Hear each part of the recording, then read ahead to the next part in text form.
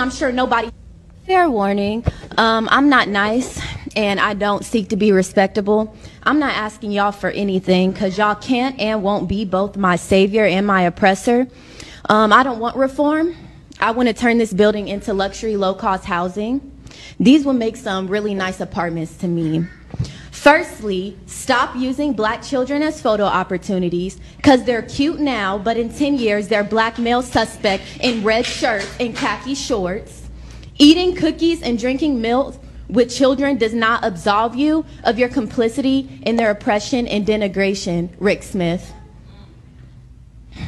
Because Kansas City will spend more on police than education and then try to encourage children to feast with their oppressors. Y'all are really weird.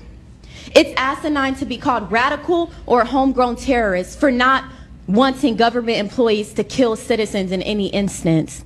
So I'm not here begging anything of soulless white folks and self-preserving black folks. You get one life, and you all in this room have chosen profits over people, and that's pathetic.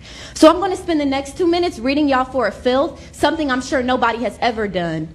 Nathan, the gentleman in the vomit colored Men's Wearhouse suit in desperate need of Bosley and a haircut, a former FBI agent who exudes white privilege and is the epitome of mediocrity, and who loves Trump so much that he hired his former attorney general at his firm. And it's so sweet because he spent most of this meeting looking away with his head in his hands. Or Mark, excuse me, Pastor Mark of Victorious Life Church on 34th and Paseo, where the mission is to provide a place and opportunity to worship Jesus Christ and preach a message of hope and faith through God's holy, holy word in the building. Meanwhile, he's subjecting black people to terrorism and unchristlike behavior at the hands of KCPD outside the building. And Kathy, Miss, I'll get here before the other commission members, so I look as if I have empathy and I'm excited to hear what they have to say. Meanwhile, I didn't have anything else to do at 8 o'clock in the morning but be rich and white and retired, so I'm here early. Or Don, owner of Wagner Investments, Blue Notes LLC, and part owner of the Royals, another rich and white and disconnected and out of touch person with nothing but pure apathy seeping through the bulging veins of your paper colored skin. You age like trash when you're racist and subject others to violence. And David, you don't get a vote, but it'd be a shame if your really progressive students at UMKC Bloch School of Management knew you were a cop lover in 2020. I don't think they would be a huge fan of that in 2020. In 1960 maybe, but this is 2020. And Q, had I not spent the entirety of the last six months dragging you, I would have more to say, but I don't. And Rick, I won't even begin with you because I don't care enough about you. Ma'am, your time to is up. start, but you will have to spend overtime in a chapel at the end of your life. You have blood on your hands, and while these idiots hold you on a pedestal, God does not honor injustice and murder.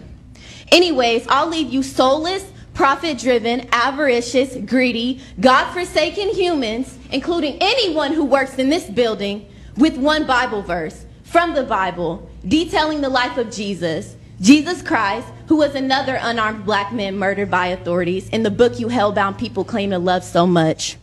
What does it profit a man to gain the whole world and forfeit his soul? You're really funny. Kiki.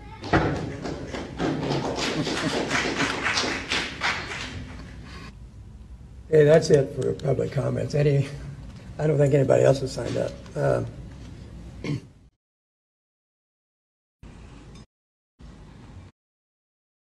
photo opportunity. Serving black folks, you get one life, and you all in this room have chosen profits over people, and that's pathetic.